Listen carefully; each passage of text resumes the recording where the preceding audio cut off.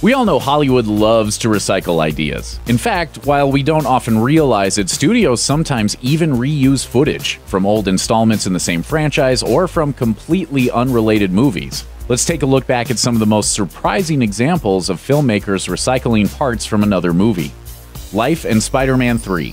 The idea of using stock footage in multiple movies is nothing new, but we received an unexpected reminder of that when someone discovered that a scene in a TV spot for the 2017 sci fi film Life is actually taken straight out of Sam Raimi's Spider Man 3. The scene in question appears about 34 minutes into Spider Man 3 with people looking up at Gwen Stacy hanging off the edge of a building shortly before Spider Man comes and rescues her.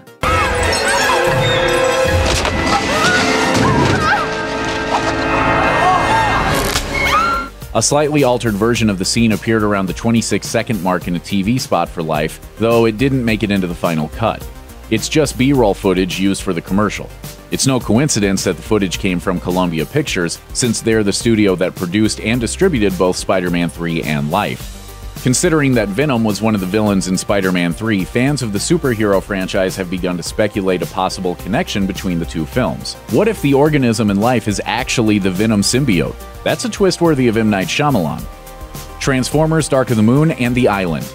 Recycling doesn't bother Michael Bay. He's guilty of reusing several scenes from some of his older films, and often does it so seamlessly that it's difficult to tell. One of the more recent examples can be spotted in Transformers Dark of the Moon. The third Transformers movie features a car chase scene on a freeway, which includes a portion of another car chase sequence Bay had previously filmed for his 2005 release, The Island. Instead of having bounty hunters chasing the good guys, though, Bay replaced them with Decepticons. The inclusion of the island sequence may have been due to the studio wanting to limit liability.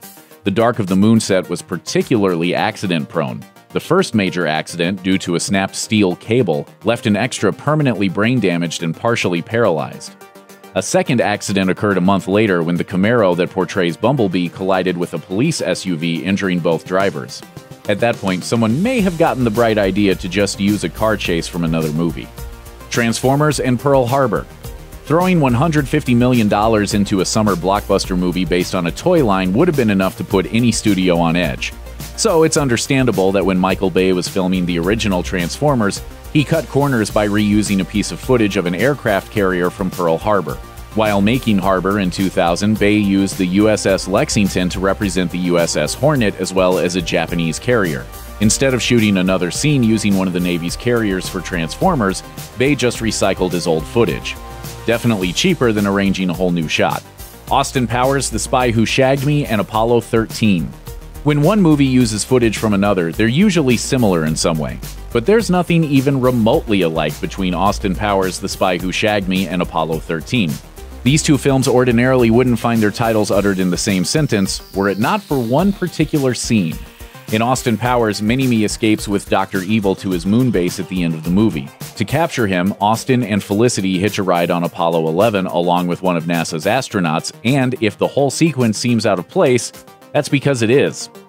An eagle eyed viewer noticed that it was taken right out of Apollo 13.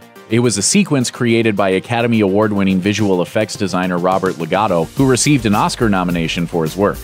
Rogue One and A New Hope. In some cases, filmmakers are upfront about reusing old footage, as was the case with Lucasfilm's first Star Wars anthology film. In the original Star Wars, the Rebel Alliance destroyed the Death Star after obtaining the space station's blueprints and discovering its fatal design flaw, an open exhaust port.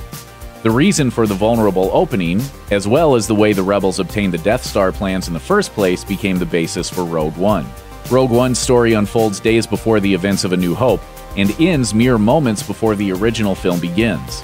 To give the impression that the film is a prequel to Episode 4, Director Gareth Edwards worked with ILM to digitally recreate Peter Cushing and Carrie Fisher's likenesses, but they didn't stop there. The filmmakers also brought back the original gold and red leaders, played by Angus MacInnes and Drewe Henley, respectively. Edwards was offered access to the Lucasfilm vault, so he found old and archived footage from A New Hope for the duo. MacInnes even recorded new dialogue specifically for Rogue One.